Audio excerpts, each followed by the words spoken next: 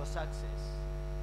There is no way you can copy from someone and expect something good out of that. A photocopy is not an original copy. Your destiny is your true identity. Make no mistake. And I, I, I wa- I want to write a book. Let me say, I'm writing a book concerning this one. Because as long as you don't know that God created you in his own way, and before you, know you were born to this world, he declared something upon your life. That you be this. No one knows except God Almighty. There are so many, you know, examples that they can cite concerning our destiny. No one can enter heaven and change your destiny. It is sin that give your enemy power to mislead you through your situation. Let's go to the book of 1 Samuel 16. We look at David. Don't forget that after David, there was no king like David, not even his children. Solomon, you know, became the king after his father, but he was not like King David. I hope and trust. Well, let's go to verse 1. This is the story that all of us know, but I want to bring this one in a different way about our destiny. God is the one who created you and made you to be who you are and who you become in the near future. Listen to verse 1. The Lord said to Samuel, How long will you mourn for Saul, since I have rejected him as a king over Israel? Fill your own with oil and be on your way. I am sending you to Jesse of Bethlehem. I have chosen one of his sons to be a king without a name. I have chosen one of his sons to be what? A king. He never said, I've chosen Abinadab or Eliab or David. He said, one of his what? His son. Of course, you know in your mind, as long as there's elder son in the house, it's automatically that everyone will be thinking that no, our elder brother will be what? The king. This is God Almighty talking to a prophet. Why are you mourning for this king that have been rejected? Fill your own. Go to Bethlehem. I'm sending you to Jesse. Go and anoint one of, I mean, I have chosen one of his son. Jesse never prayed for his son to be a king. Bear it in mind. He never fasted for his son to become what? The king of Israel. In fact, he was not even thinking about that one. It was far beyond his, you know, dreams. He never knew that there's a king in his house. All what he knew is that I have got sons. I don't know if there were eight. Praise the Lord. Praise the Lord. But Samuel said, How can I go? If Saul hear about it, he will kill me. That is the answer of every human being. The Creator is talking to you. And He has told you already that I have rejected this one. And then you are telling me that no, if this man here that I'm going to anoint, he will kill me. Ah, ah. Who can kill your destiny when God is the one who is driving you? We look at these two people. The prophet confessed what? Fear. He said, King Saul will kill me. Who appointed King Saul to be a king? Is he not God Almighty? Can he allow the one he appointed to kill his prophet? No. The prophet confessed what? Fear. This is the prophet of God. Who can hear from God? Talk less of you, who cannot even understand your own dream. Sometimes when you wake up, you don't know whether you dream or you not. Ngabami pusha chemwachila lota ah ndei bati ah ah, ah iteti njuki she. Okay na chimuna hapo kwati kukamana kukamana. eh? This is the prophet who can hear from God dialect. He said, if this man here that I'm going, you know, to Jesse's house, he'll kill me. Listen to this. This is verse verse 2. No. Ve- Verse, verse 2, yes. The Lord said, Take a heifer with you and say, I have I have come to sacrifice the Lord. Mm. Let me ask you this question. Are you can you say God was also lying? Because he was sending this man to go and anoint the king. But after the prophet said, the, the, the king, the current king, he will kill me. He said, No, just uh, take this animal and say, I'm going to sacrifice. Can you say he was lying? Answer me. Mm. I'm sure you, you understand the statement. He was sent to anoint the king. But the man said, They'll kill me. Then God said, Just carry this and say, I'm going to sacrifice them. And yet, he was going there to do what? You are not hearing me. Let me just carry you. Verse 3 Invite Jesse to the sacrifice, and I will show you what to do. Invite who? Jesse. That is the father of who? David. And I will show you what to do. You are to anoint for me the one I indicate. He did not say, Go and ask the father who is wise in that house, who is humble, who is a hard worker. Before you bring them, first talk to the father private. He said, No, invite Jesse and anoint the king for me, the one that I will indicate. Jesse never knew that eh, David was the king in the house. It's a long story anyway, but I want you to take a point. No one can remember you that you can do this. No one can remember you that can fill this vacancy where you are working. No one can consider you that you can do this better than this one except God Almighty. Because God owns every man's heart. Even without a Bible, this corruption, this animal that has been there now, for you to be employed, it's either you sleep with this one or you pay the money. God cannot operate in your life in such a way. No. David was in the bush. Let me just go direct to the point because of time. Follow me. Where are we now? Verse 4. Samuel did what the Lord said. When he arrived at Bethlehem, the elders of the town trembled when they meet him. They ask him, Do you come in peace? Because before now, when you see a prophet, be worried. It is now that you are praying with this prophet of our generation. A prophet of God, if you see a prophet in your house or in your town, be worried. Or you hear the prophet calling you, know for sure that, hey, I don't. It is now that you can joke with this, you know, prophet, you can just call him, say something about him. It is not you to tell the prophet. It is God Almighty to tell the prophet what to say about your life. So they were, you know, trembling to say, Ha, a prophet in our town.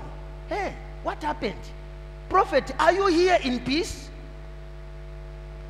It is now that we are joking with men of God. Hmm? Sometimes, if you read the Bible, you see, I was, uh, is it this morning? Yes. I, I, I, I'm afraid. I don't know who is going to be saved now. If you remember the story about the uh, Philistines and the Israelites when they captured the, the, the covenant box, even the people who received the covenant box after, you know, that demon, is it Dagon or Dagon, something like that, the god of the Philistines, where every, every morning they open their temple, they find that their god is on the floor. Every morning they, they said, ah, we are in trouble. Tiuma, my problems here, sir. They said, take these things to the Israelites, otherwise we are going to die. Now, the, the, the issue I want to pick is that immediately they took that covenant to the border. The people who received the covenant box, they tried to check what is inside. 70 people died just to temper the covenant box. Today, we are joking with God because he, he, he is not very close to you. You are alone. You can say you can say whatever. But if God is on your side, you be conscious of what you are doing.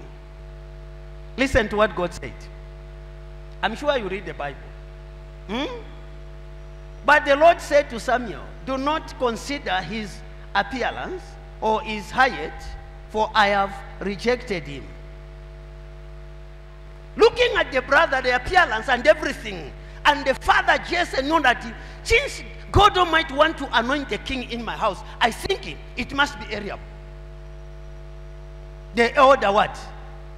Brother of these people. He said no. Until Jesse brought all his sons, he never thought of David. Read the Bible is here. You are there with the Bible. He never thought of David or tell the prophet at all. David, it was the prophet who said, There he said, Oh, there is one in the bush. Meaning he was not considered by the father. He said there is one in the bush, he's looking after, you know, animal. Eh, even the, you know, the, the introduction of, you know, David, you can see that the father was telling the prophet that that one cannot be a king. He's in the bush. Are you there? Oh, there is one. How can you forget about your children? But God anointed David before he became King David. The prophet said, Go and bring him. We are not going to sit down until we see him here. The last born, the last man in the house, the one in the bush. In the family, they knew David as a shepherd of what? The animals, sheep or goats. But in heaven, they knew David as a great what? King. Come on, people of God. I don't know if you, you understand this language. In heaven, David was known to be a great what? A great king. He, In his father's house, they knew him as a shepherd. Kachema wambushi. Mwalichema pwembushi. Mwani mwana pa wakachema oko benda nensapato. mung'anda munyabashati akanika akachema kusunga enshi kumurule samu ichivyati uyu ni mfumu iye achita shani bring him bamuleta ushe oh, owo yalike nokufuma there is no competition in destiny what god said about your life before you become who you have become today is what will be whether they like it or not whether everyone is rejecting you. No one is thinking about you. Your destiny is greater than your rejection. Your destiny is greater than your sickness. I'm telling you the truth. Your destiny is greater than the level of your education. Don't be deceived by the standard of this world. When God, you know, created you, there was nothing like a degree or masters. He said, Let us make man in our own image. There was no degree. He said a human being with a great what? Destiny. There are people who are running big companies. They can't even write their names. People with masters, they are the ones who are running up. Yes, boss. Yes, boss. Yes, boss. A quanker who cannot even write his own name is running a company. Why are you deceiving yourself? There is no competition in destiny and no one can kill your destiny. What God said about your life must come to pass. The only thing you need to do is to hate sin. Sin is the only thing that Satan can use to cover your destiny and start misleading you. David was in the bush. This is the father standing before the prophet.